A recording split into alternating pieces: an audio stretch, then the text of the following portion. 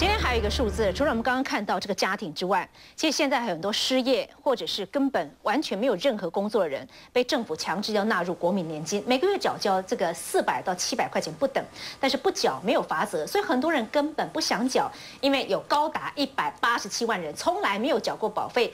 归咎原因，很多都觉得说经济不景气了，不愿意再从口袋去掏钱。那劳保局也说要砸钱来办活动推销国民年金，对照缴不出钱的民众，他们认为。这个会会不会又是乱花钱呢？我请教是郑龙大哥，我们刚刚特别提到苦日子真的来了，那么也看到那个 GDP 哈下修，已经三度下修，勉强是保三。当出口衰退，股市低迷，今年的 GDP 下修，勉强保三，已经三度下修了。可是我们的政府是怎么样的？当全民皆苦的时候，台湾还在乱，这么短的时间之内搞得乱七八糟，那怎么看？我是这样看的，苦日子是各行各业大家都会很苦啊。那我我也觉得马英九很苦啊。马英九，你看他他这个苦到他头发都掉了什么的，都都是这样的。然后那些官员其实也很苦哎，你要去找出五年五年前的签诗啊、枪西哦，啊过来这别枪西哦，来拍马屁哦，这也是很辛苦的。然后你知道说农委会的官员来说，哎，他必须要隐匿疫情哦，免得爆出来。这个也是很苦，很苦。我相信更多的官员更苦。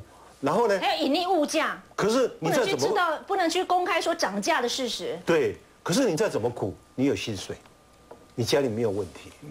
可是很多人，事实上，你说像张那个桃园复兴乡这一对夫妇来说，他们有房子哎，他不符合低收入户，他领不到津贴。可是小接着这块的关主民，我相信他原先是可能是临时工。可是现在很多啊，工厂的员工变成临时工，临时工变成失业的，没有收入，因为不康会当走啊，根本就不钢条，钢条还没修起来，为什么？因为你政府你的整整个经济发展，你未来四年你不需要怎么怎么弄，你的油电又双涨，那怎么办？大家都苦，可是苦的是什么？弱势的百姓。无崩当家，到时有什么烧炭自杀、孤野煮菜的鬼大堆。你上面的苦是什么？苦工啊！你的人民你就不了解我的苦心，是这样的一个情况。妹妹，当有些人要摸黑摸蜡烛，然后够吃一碗饭，到最后烧炭的时候，你就可以理解为什么这么多人没有办。